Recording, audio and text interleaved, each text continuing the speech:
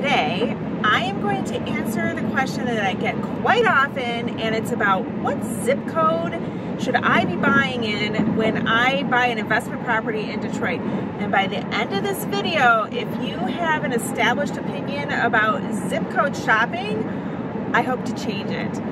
So I'm Monique Burns. I am an investor in Detroit. I have my own portfolio of properties and I have, between my husband and I, we have bought, renovated, and owned and then sold a good, like, I don't know how many, 175, maybe 200 properties in Detroit. And, and when it comes to where to buy a house in Detroit, we've got it figured out because we do it. We do it all the time. So I just wanted to tell you, why am I in this car? I'm not driving, don't worry, I'm the passenger here.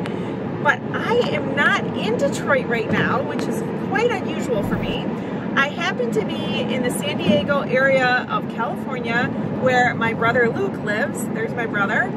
And Luke has the website ruralvacantland.com and he we're both in real estate. And he buys land all over the country. And then he resells it. And he has a system. And he searches things like zip codes and areas. And he's got certain criteria when he looks to buy land. And I was explaining to him, it has become progressively more difficult in Detroit to find land, or not land, to find houses to buy because you all know with 2020, everything got strange and all the prices went up. And then there's just, all the prices in Detroit have gone up. It's been harder to find houses to buy. And I was talking to him about his system and he said, let's do it together. And I thought, perfect, because what else was been great about coronavirus was the price of airline tickets. so I said, perfect opportunity to take a vacation, a work vacation. So here I am, and my sister lives in the area too. Snow and blowing snow, dangerous cold for. So yesterday, Luke and I spent several hours, and I thought I could learn what he does, but whew, um, there's a lot to it. I, I told my husband later, it's like when people say, hey, how do you renovate a house? Can I just spend a couple hours with you and maybe then I can go repeat it? No, you might learn some stuff, but you can't turn around and renovate a house. And if you want to see how our crew renovates a house, you'll know what I mean if you want to watch my series on how we renovated this one. It's pretty cool and I learned so much just videoing it, but give me a hammer and pff, forget it. I can't do that stuff. Yeah, and, and this is, it's just like renovating a house. There's so much you learn from trial and error, and let's try this and let's do that. So I sat down with my brother, Luke, there, and he, um, he and I went over all kinds of uh, different kinds of criteria. Like what criteria were we looking at? What were all our choices? Well, first we started with the area, right? Like Monique's got very specific areas that she's done deals in. She knows she can price and, and work and then um, she knows what they rent for, what they sell for, what what kinds of houses are there to go after, and which ones you don't want to go after. I think it's probably even more important. Yeah. The ones you don't want versus yeah. the ones you want. And our our criteria is more um, uh, for people that buy and hold. They want the uh, you know the terms. It's the buy and hold types. They're not Investors, necessarily like looking properties. for yeah. They're not looking to fix and flip for a quick appreciation. They're looking for that income property. The market's turning into you could sell it for the quick appreciation. It's starting to go that way. It is, definitely. Um, and we saw that a lot with the prices of properties and the historical trades that they've been going for recently in the areas that Monique knows has done well in. It was really fun to see just the number crunching because I know the streets. I know Yeah. the tenants, and my husband knows the renovation. Like, if you buy this house that looks like this, it's going to cost this, and then you can get a tenant for that. But then you were looking at, what people are buying them for and selling them for, mm, and the transaction prices and the times to pull them off. Monique was surprised at the prices that a lot of people are selling them for. mhm, They're selling at much Really better high. prices than really, you're really used high. Yeah. And um, I was surprised that the data doesn't work for stuff because we wanted to get more specific on the build types of the house. Mhm. that data is lacking in Wayne County. I thought we could get data on um, the numbers of bedrooms and bathrooms and the age. I think it's the age of the houses that are in the neighborhood that she's at. Like that data just wasn't collected in Right. the day and it hasn't been updated and it hasn't been kept. But I, I know which ones are the three bedrooms because I know those streets so well. Yeah, Because right. we've bought so many, and by we pick different areas, you know, and and buy multiple within one area. you know, and then what other data? So we we went with what we thought we could do, which didn't work. But we had the areas, and we figured we'll hit what's there. And so we downloaded the first area, and then we took a taste of the data, right? Like we we were able to look at it and understand what data is there. So when we have the whole database on a couple properties, I mean, at first we downloaded, I don't know, a couple hundred properties or something, and then we could see what kind of data was in there, where the columns of whatever information was totally filled in, not just spotty, a little bit here, a little bit there data, because you can't you can't base decisions off of just spotty data, but conclusive data on some of those properties was there. So we looked at what kind of conclusive data or encompassing data is maybe a better word was there and then said okay how can we use that data to target the kinds of houses and the kinds of people that we want to be buying from like it's probably not the people that just bought it for the high prices yesterday it's probably the ones that have had it for a long time.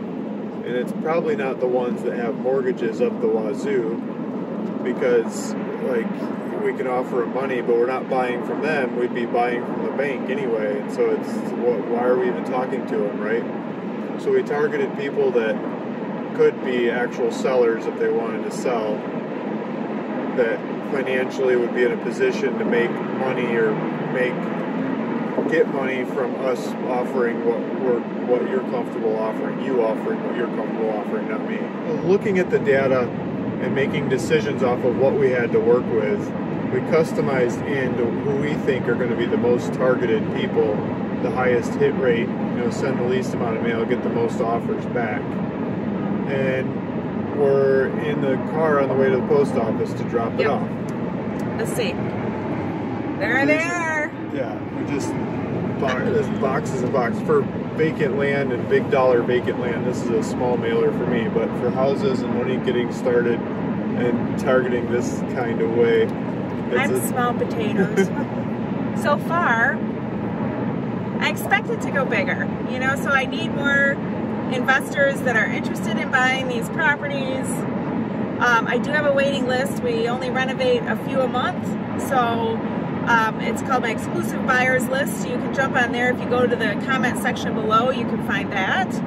Um, I was you didn't hear this. I got a call today from an investor, and I do have a few properties for sale on my website. Ones that we renovated between like 2015 to 2018, but he was looking at buying a package, and I have them kind of in packages. So the flyers on my website are, are different colors. So like there's a set of gray ones, and the guy has three properties, and he was interested in the the gray set, and he said that he had a contact in Detroit, and he called her up, and he and she said that's a terrible zip code. And I, ca- I, I'm not going to argue with people. You know, I I can tell you what I wanted to say.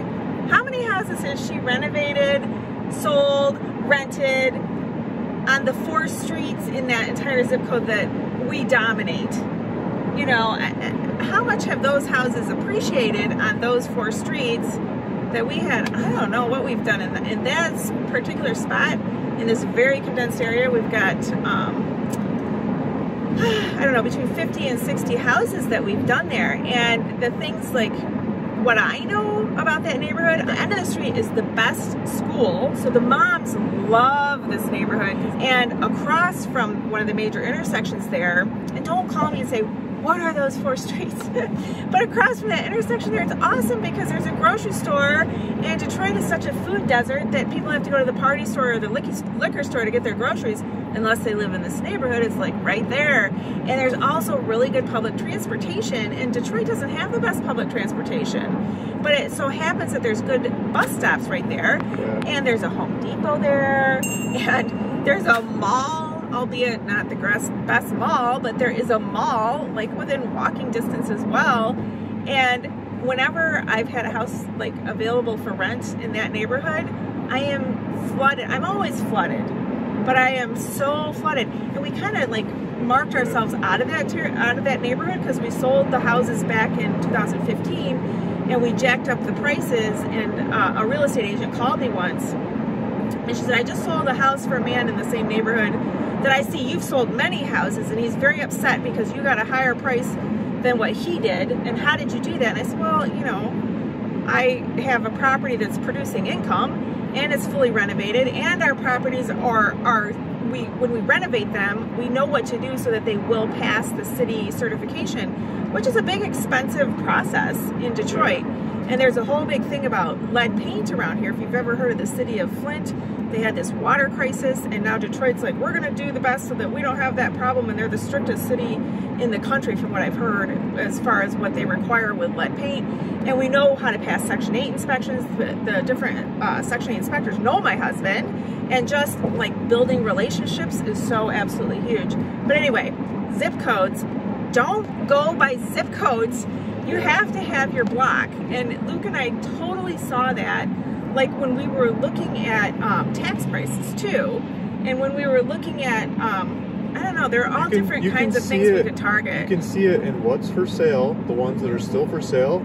There's more of them for sale on the bomb out, burned down streets that yeah. you don't want to be on, that uh, happen to be a ways away from the bus stops you're talking about, like public transportation, the ones further away from the public transportation seem to be lower price, less less uh, fixed up, less regentrified and coming around than the ones that are closer to the things that you're talking war about. War zone, okay. I don't so, know if that's politically correct, but yeah, the war, kind of rough. The war zone streets. So like targeting properties, they look cheaper and easier to be had there. But Monique says skip this one and skip that one, like laser precise sharp because she knows the areas. Yeah. To be able to hit the ones we want versus the ones we don't want. Right. Yeah. And I've um, never worked with other real estate agents either. I was kind of surprised when he brought up his real estate agent. Um, my the way I do real estate, I guess it's just different. I the numbers haven't, buy myself. The numbers haven't them. worked. They're, yeah, it wouldn't make they're sense. They're not economic for, for people to go work on it as a real estate agent. But now they're starting to come around. The numbers start working for the banks. Like people can start borrowing money to buy these things and get really small monthly payments and pay a real estate agent. Like yeah. stick it into the mortgage. Yeah. Like the insurance is working. When we first started buying in that area, the insurance wasn't working. He was one of my first investors. You couldn't get insurance on the properties. Like, how do you buy a house without I don't insurance? Remember that. We couldn't even get insurance on them. No, I was buying them in cash with no insurance. They're like, you're in California. The houses are in Michigan. No insurance. I called everybody. No insurance. Oh, we've got it now for um, six hundred a year. The insurance is. Yeah, but I mean, they wanted like, when I started getting it, it was. I mean, it was like four hundred dollars a month. It was not. It, it, it, just like saying no compared to the rent and everything. It didn't make yeah, any sense at all. Mm-hmm. No sense. Yeah. But that was at least they started offering it. That was maybe 2013, 14. You started in 2008, 9, 10? Yeah, there was no insurance 2008, 9, 10. You couldn't get insurance. And the dollar prices of the houses were too low to get finance through banks or regular financial institutions. You got to borrow against something else or have the cash. Yeah. So hopefully you're getting, you're picking up what I'm putting down about zip codes and if you call me and say, what's the best zip code, I'll know you didn't watch my video. so what happens when you get some of these properties and you don't have enough capacity to fix them up? I think that's what's going to happen, Monique. You're going to you're going to you're going to find out you can sell them to people who probably pay you more than you make off of fixing them up and selling them fixed up. Yeah.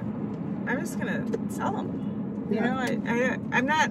I, I don't want to be buttoned into this is all I do. We buy, renovate, sell. You know, Because you don't The have to. property like, management one of the biggest things anymore. about land, I'm always doing land. Don't touch the land. Like, don't touch the land. Everyone wants to go touch it when they buy it. They're gonna like, I'm gonna add a driveway. I'm gonna add this. I'm gonna do that. I'm gonna blah blah blah. Like, it takes a lot of time and money and work and logistics. And pictures work a lot better. Like, get a picture of the property and a location, and it goes from unknown, not in the market, the price that I made up to buy it at that makes sense to buy it in whatever the marketplace is. And then you go put it on the market, it's something less than what everyone else is selling them for, like even significantly less to watch it go fast. Like this is if I had this money now without fixing it up, I'd be happy. And the person buying it could go fix it up and sell it for more and make out too. yeah, And, but if, if if it's sitting on the market long enough, I'm gonna fix it up and sell it to somebody who wants to use FHA financing or something to buy this thing and live there, yeah. you know, and, and pay two hundred dollars a month mortgage or whatever it is. Okay. So if you guys have questions, I love it. Leave a comment below. I'm planning in my head so far uh, another series. I made a whole series of Section 8 tips for landlords out there. But the one I'm thinking about making now is if you are out of state, how do you find a property management company? And I've been getting a lot of information lately about how different property management companies work and how they don't work, what's good, what's bad. I thought like, oh, if I were to buy a house in another state, which I have no intentions of doing because Detroit's the hottest market ever, you don't really have to shop because I can tell you exactly what to do. But I do want to put that out there so that you can get the whole concept. Because once you buy a house that's an income producing property, if you're not going to fix it yourself and fix it up to live in or whatever, but if you're going to buy a, a renovated house or you plan on renovating it and putting it in property management, if you have the wrong property management, it can destroy you, destroy your business. So anyway, I'm going to make that series. Let me know if that's something that you would like to see. And we are we at the um, post office? Yeah. I'm so this is- excited. I heard this is like walking This into is a the factory. commercial regional distribution post office, not your neighborhood post office. I've never done anything like this. this is really cool. It's really cool. Okay. Check check us out, both of us. We're both on TikTok too. You can see our like short little clips. I don't know if they'll let me TikTok in there, will they? I don't know. No. I don't know. But that's it. Thanks for think so. watching. Yep. Bye.